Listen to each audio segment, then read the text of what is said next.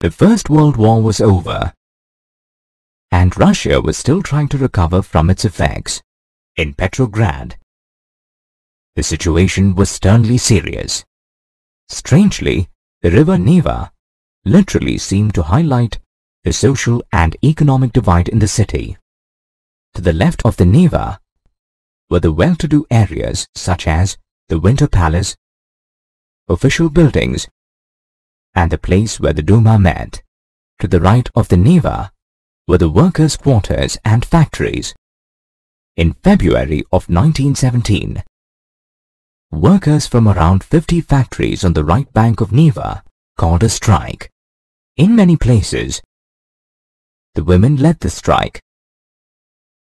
Did you know that in order to commemorate this event, 22nd February is today celebrated world over as International Women's Day.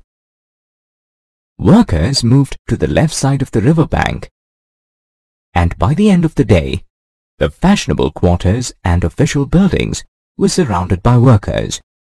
The government responded by calling in troops to control the situation. It then suspended the Duma. This was the last straw. The protests became louder and more violent. The soldiers refused to fire at the protesters. Instead, they joined them. The striking workers and the soldiers got together and formed the Petrograd Soviet. The Tsar was finally forced to abdicate. Russia was finally free from the monarchy and a provincial government was formed. Lenin saw this as the apt time to return to Russia from his exile.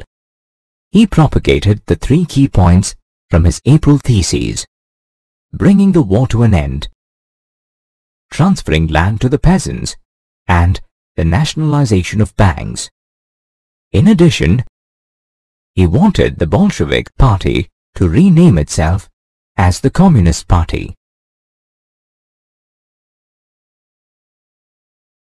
The provincial government, headed by Kerensky, saw Lenin as a threat and started arresting the Bolsheviks and resisting the spread of their ideas. Lenin feared that Kerensky was setting up a dictatorship and he convinced the Bolsheviks to stage an uprising. He appointed a military revolutionary committee under Leon Trotsky to organize the uprising. In October 1917, the Bolsheviks, with the help of Leon Trotsky, successfully seized power from the provincial government.